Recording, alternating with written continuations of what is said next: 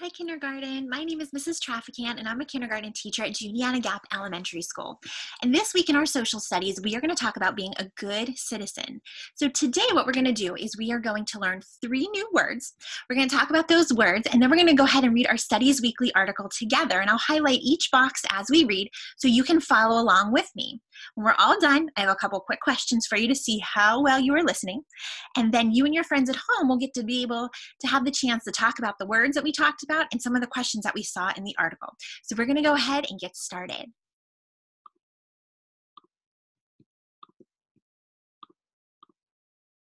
So, our first word is the word citizen. And a citizen is a person who lives in a city or a town. It can also mean a student in a classroom or school. You, friends, are citizens. You are a citizen of our city, Altoona, and you're also a citizen in your kindergarten classroom. Our next word is the word obey, and obey means to follow or listen to. So I'm going to use our new word obey in a sentence. I always obey the rules of my kindergarten classroom.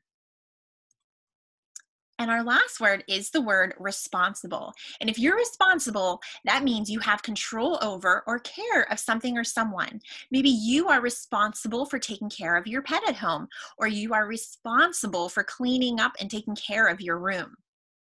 So now that we've talked about our three words, we're going to go ahead and look at our studies weekly for this week, and it's called Good Citizens. And as we read, you can follow along. How can you be a good citizen?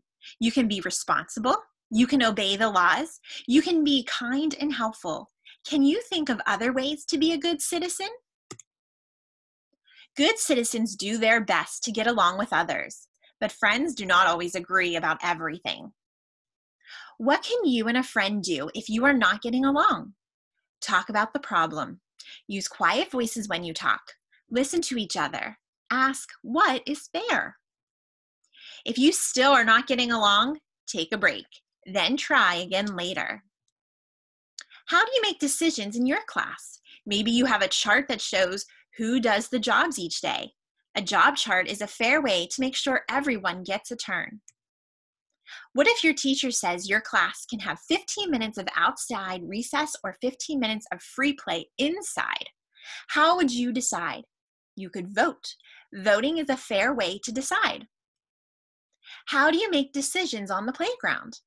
What if two people want to swing, but there is only one swing left?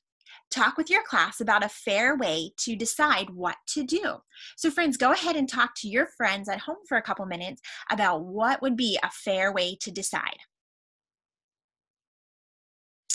So now, friends, I have three questions to ask you. If you, these questions are going to be yes or no, if you think the answer is yes, you're going to give a thumbs up. If you think the answer is no, we're going to give a thumbs down. So here's our first question. A good citizen obeys the laws. Hmm, what do you think about that? Yes, they do, or no, they don't. You should have had a thumbs up. Yes, a good citizen would obey the laws. Our next question is voting is a fair way to decide. What do you think? Yes or no?